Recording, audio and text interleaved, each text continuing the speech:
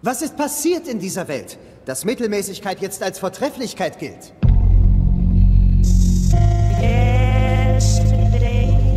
Wann haben wir unsere Ansprüche gesenkt?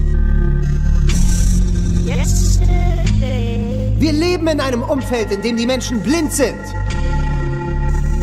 Was ich nicht weiß, macht mich nicht heiß. Aus den Augen, aus dem Sinn.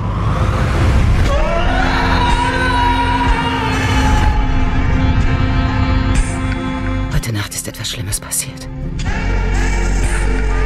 Unsere Männer kommen nicht mehr zurück. Wir sind auf uns gestellt. Sie haben viel Geld gestohlen. Und die Leute wollen sich das von uns zurückholen.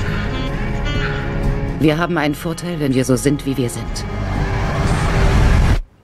Wieso? Weil niemand glaubt, dass wir die Eier haben, um die Sache durchzuziehen. Sind wir noch, wenn uns die Welt in die Knie gezwungen hat?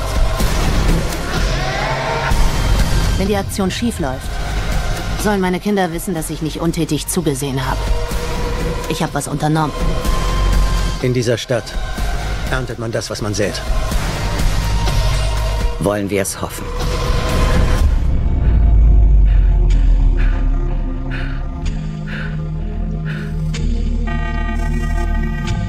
Widows. Tödliche Witwen.